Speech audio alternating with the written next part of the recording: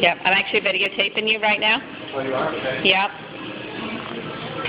And why would you use this one? This is going to be while he articulates the leg up into the peripheral compartment if he's got Okay. a cam lesion.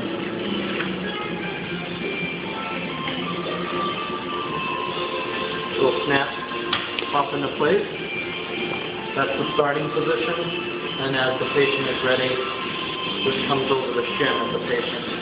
Okay. As he articulates the leg up, he pushes the knee into flex. This will hold the, uh, the shin in place. To release, the button back here. Hold on. Right now. To release, you lift up. You see that motion there? Okay. And it comes back. Okay. And then to take out, press Oh, no, both the you knees, didn't. Oh, okay. go straight out. Okay. Same insertion, press down, snap in. Okay.